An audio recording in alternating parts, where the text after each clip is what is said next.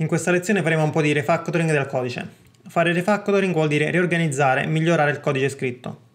Ed è un'operazione sempre necessaria perché al crescere dei progetti difficilmente scriviamo codice non migliorabile o esente da errori. Nel nostro caso di errori ne abbiamo abbastanza, quindi andiamo a sistemarli. A livello di controlli, la prima cosa che facciamo è controllare se la username fornita in fase di registrazione non sia già presente all'interno del database.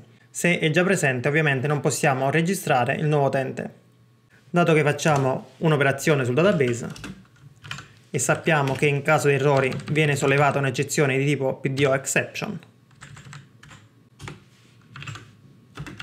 andiamo ad inserire questo blocco, questo pezzo di codice, all'interno di un blocco try catch.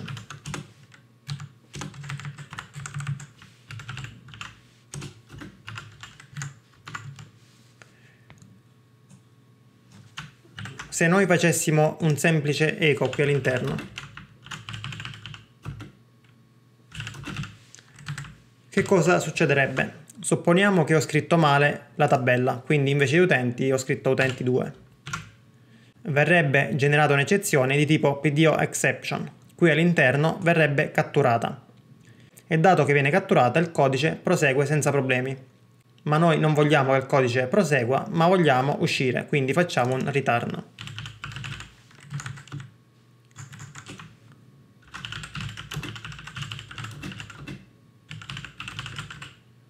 Indichiamo un messaggio di errore generico.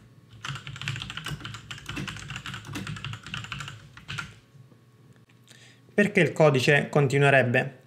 Dato che abbiamo inserito questa porzione all'interno di un blocco try catch PHP dice ok tu sai bene che questo pezzo di codice può generare un'eccezione però l'eccezione l'hai correttamente catturata.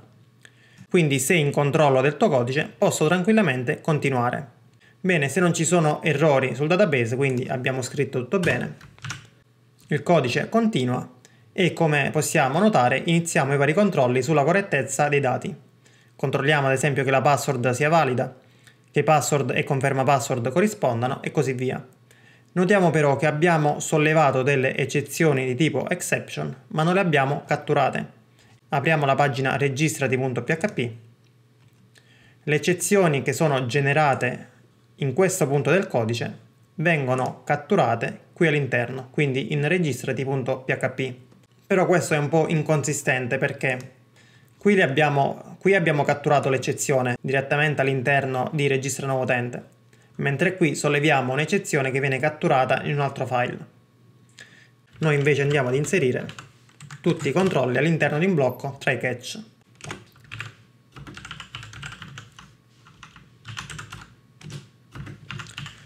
Dato che solleviamo eccezioni di tipo exception, ovviamente catturiamo un'eccezione di tipo exception. Anche qui non facciamo un echo ma un return.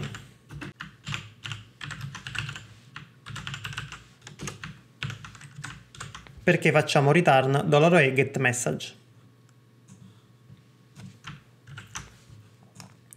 Supponiamo che l'utente abbia fornito una password non valida, quindi arriviamo a questo punto del codice viene sollevata un'eccezione e abbiamo questo messaggio di errore.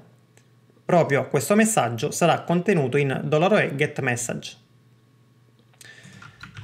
Continuiamo con il codice. Se superiamo questo blocco try catch vuol dire che non ci sono eccezioni, non ci sono errori, quindi andiamo ad inserire l'utente nel database. Qua invece di restituire true andiamo a restituire un messaggio di successo.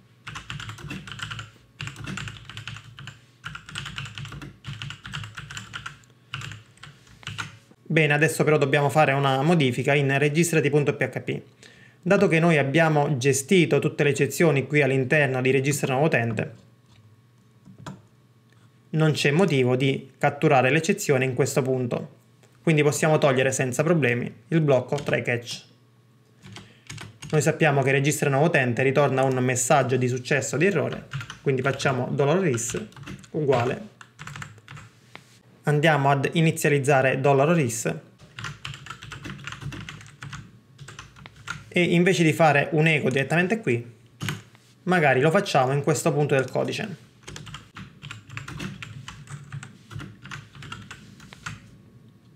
Perfetto, vediamo se tutto funziona. Inviamo la registrazione senza compilare alcun campo. vediamo che abbiamo il messaggio username non valida. Proviamo a mettere una username valida. Inviamo. Abbiamo il messaggio di errore password non valida. Bene, il codice quindi già è migliore. Ovviamente registra nuovo utente ha ancora dei problemi. Uno dei problemi è che c'è troppo codice. Dato che sono implementate diverse operazioni, quello che possiamo fare è spostare queste operazioni all'interno di funzioni apposite. Ad esempio abbiamo questa query sul database, possiamo spostare questa operazione all'interno di una funzione apposita. Public function. Username, scriviamo in inglese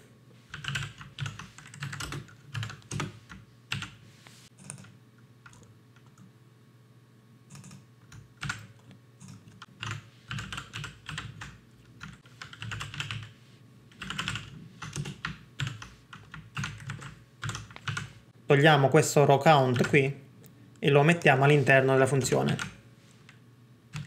Quindi se è maggiore di 0 non solleviamo un'eccezione ma facciamo un return true. Altrimenti restituiamo false.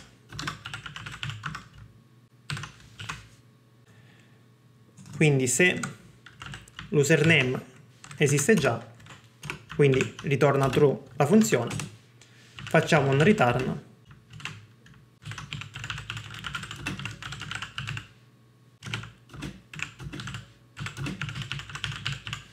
l'username indicata è già presente. Facciamo la stessa cosa per quanto riguarda i controlli. Definiamo una funzione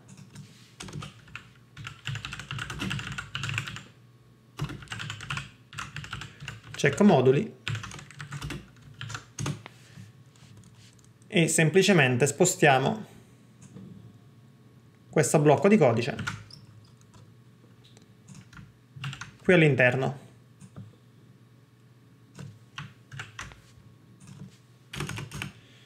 Ovviamente abbiamo necessità dei parametri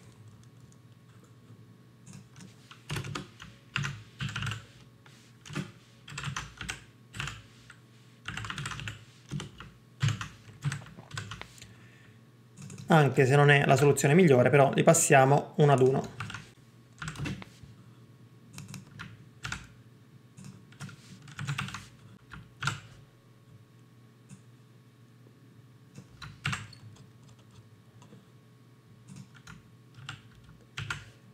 Nel caso in cui uno dei controlli non vada a buon fine, viene sollevata un'eccezione in questo punto del codice e l'eccezione viene catturata in questo punto.